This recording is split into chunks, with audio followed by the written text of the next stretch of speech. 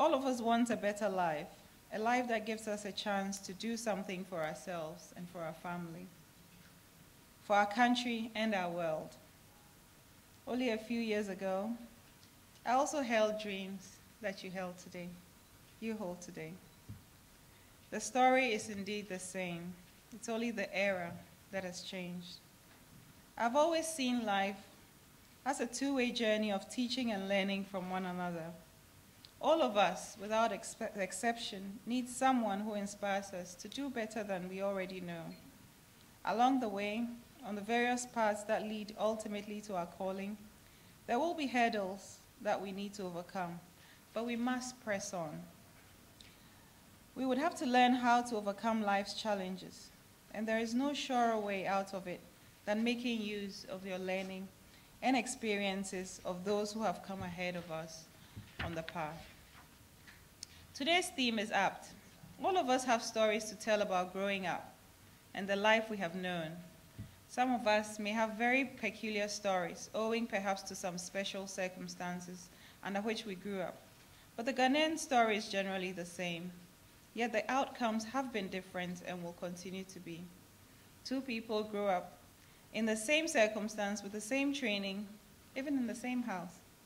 But while one goes on to become a successful entrepreneur, lawyer, doctor, architect, president, even vice president, the other may be languishing in jail, serving life, or sitting idle at home with no sense of purpose. It is a matter of choice. The path we choose must, the path we choose must emulate the forebears who have successfully defined their roles in society.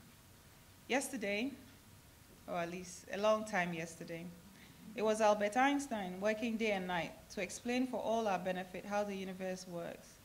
After him, it is our own Professor Francis Allotey, the Ghanaian professor of mathematics, and known in the world, the world over for his Allotey formalism, which has impacted the role of soft X-ray spectroscopy.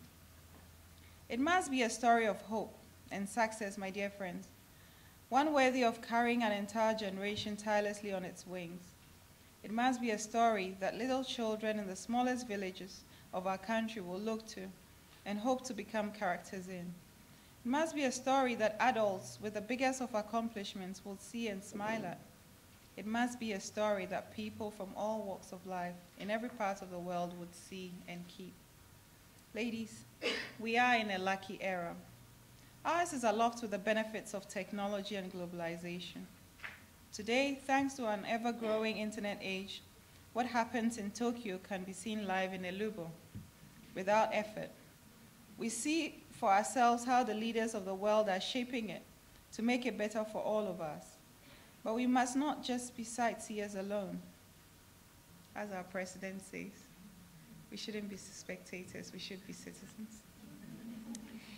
We must take active lessons from what we see happening all around us, and we might strive to achieve even more.